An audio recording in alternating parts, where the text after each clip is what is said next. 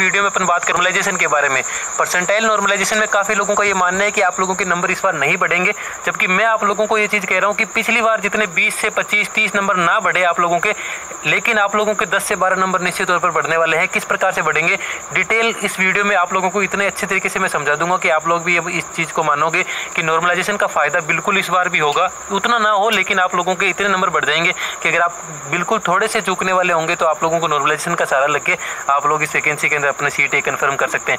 इसके अलावा अपन इस वीडियो में बात करने वाले हैं phase one phase two three four के अंदर जो भी फ़ेज़ के एग्ज़ाम हो चुके हैं, उनकी एक एक्सपेक्टेड कट ऑफ़ के बारे में जहाँ तक अगर आप लोगों के नंबर आ रहे हैं तो अच्छे से अपनी पीटी की तैयारी करिए ताकि आगे आने वाले जितने भी लेवल है, आप लोग उसको अच्छे से क्वालिफाई कर पाएँ। इसके साथ साथ में चालीस, पैंतालीस और पचास नंबरों वालों की क्या चांस है, वो कट ऑफ़ के अंदर इसको अच्छे से देख लेंगे। तो चैनल पर अगर पहली बार आ रहे हो तो प्लीज़ चैनल को सब्सक्राइब ज़रूर कीजिएगा। वीडियो अच्छी लगती है तो वीडियो को लाइक ज़रूर करें। देखिए, कई बार आप लोगों ने ये लेटर देख लिया होगा जो नॉर्मलाइजेशन के बारे में बताता है कि हम परसेंटाइल नॉर्मलाइजेशन किस प्रकार से करेंगे रेलवे ने इस चीज़ के बारे में बता दिया है। इस फॉर्मूले के अंदर आप लोग देखोगे तो इसके अंदर दो चीज़ें दी गई है, एक ऊपर और नीचे, साथ में आप लोगों को इंटू करना है सौ से।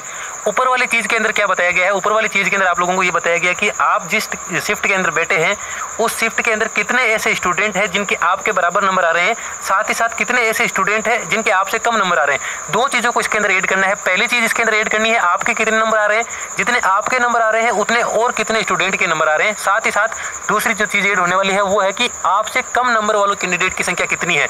ये दोनों डाटा आ जाएँगे ऊपर की तरफ़। नीचे की तरफ़ क्या आने वाला है? नीचे की तरफ़ आप लोगों को सीधा सा इसके अंदर दिया हुआ है कि total number of the student या candidate who appeared in the shift आपकी शिफ्ट के अंदर टोटल कितने स्टूडेंट अपीयर हुए, और उसके बाद में आप लोगों को सौ से गुना कर देना है। आपका परसेंटाइल स्कोर आपके सामने होगा। फॉर्मूला काफ़ी ईजी है। पिछले साल वाले फॉर्मूला की बेसिस में अगर तुलना करें तो बहुत ईजी है अंडर ईजी टू अंडरस्टैंड है।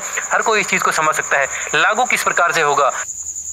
कि इस लेटर के अंदर साफ़ दिया हुआ है कि परसेंटाइल बेसिस जो आप लोगों का स्कोर निकलेगा रो मार्क्स के बाद में परसेंटाइल मार्क्स होंगे, उन्हीं के आधार पर आपकी कट ऑफ़ का निर्धारण किया जाएगा। तो वो रो मार्क्स किस प्रकार से निकलेंगे, वो इसके अंदर देखने वाले हैं। इसको आप पहले नब्बे कर लीजिए। ये तीन शिफ्ट मैंने आप लोगों के सामने ले ली है। एक शिफ्ट वन है, जो थोड़ी ईजी है। शिफ्ट टू मॉडरेट है और शिफ्ट जो थ्री है, वो काफ़ी हार्ड शिफ्ट है। इसका एग्ज़ाम थोड़ा सा अन्य शिफ्ट की तुलना में हार्ड आ गया।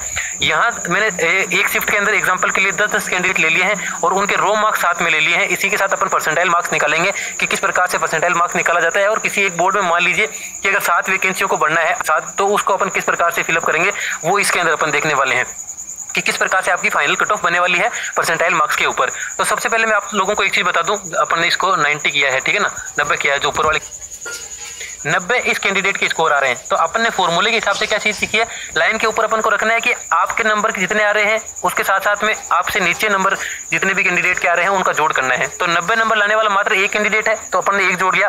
इसके साथ में नब्बे से कम नंबर लाने वाले कितने कैंडिडेट है? नौ नंबर है। नौ कैंडिडेट है। तो टोटल कितने कैंडिडेट हो गए? टोटल कैंडिडेट हो गए अपने पास दस। और इस शिफ्ट के अंदर बैठने वाले कैंडिडेट कितने थे? वो भी दस थे। और सौ से गुणा कर देना है। तो आप लोगों के पास कितना बचेगा? सौ बचेगा। सौ बचने का मतलब है कि इस पहले कैंडिडेट का जो परसेंटाइल मार्क्स है, वो सौ हो जाएगा। अब दूसरे के हैं कि मान लीजिए इसके 90 थे सेकंड कैंडिडेट के 88 आए हैं। अब सेकंड कैंडिडेट के 88 आए हैं तो 88 और कितने कैंडिडेट के हैं? अपन ने देखा 88 सिर्फ़ एक कैंडिडेट के हैं तो अपना पहला जोड़ इसका हो गया। दूसरे जोड़ में अपन क्या रखते हैं? 88 से कम नंबर कितने कैंडिडेट के हैं? तो 88 से कम नंबर कितने कैंडिडेट के हैं? आठ कैंडिडेट के 88 से कम नंबर है। यानी लाइन के ऊपर कैंडिडेट की संख्या कितनी चल जाएगी? नौ।